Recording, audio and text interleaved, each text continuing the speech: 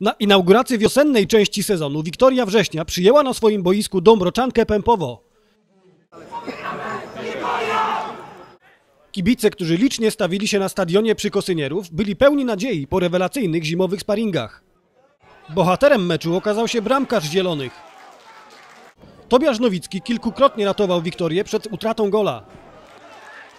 W pierwszej połowie Wiktoria tylko raz poważnie zagroziła bramce rywali. Jednak po główce Macieja Lisieckiego emocjom dał się ponieść Maciej Matuszak, który na pozycji spalonej dobił piłkę zmierzającą do pustej bramki. Pecha mieli również rywale. Jeden z zawodników z Pępowa po nieszczęśliwym zderzeniu z Lisieckim musiał zostać zniesiony z boiska ze złamanym nosem. Konieczna okazała się pomoc medyczna.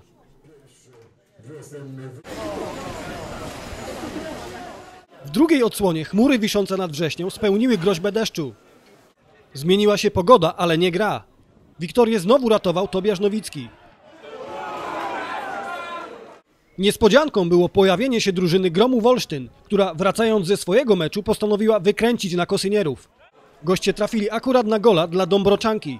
Podbramkowe zamieszanie wykorzystał Robert Markiewicz. Pępowo miało chwilę triumfu. Brzydki do tej pory mecz stał się jeszcze brzydszy.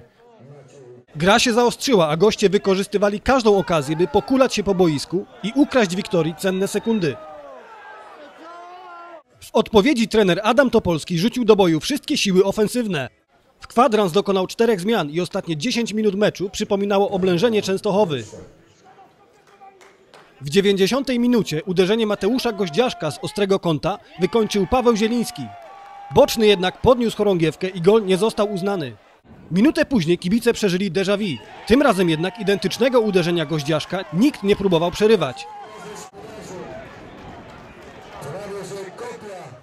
Mecz skończył się doliczeniem 5 minut i żółtą kartką dla Groszkowskiego, która oburzyła trenera Adama Topolskiego.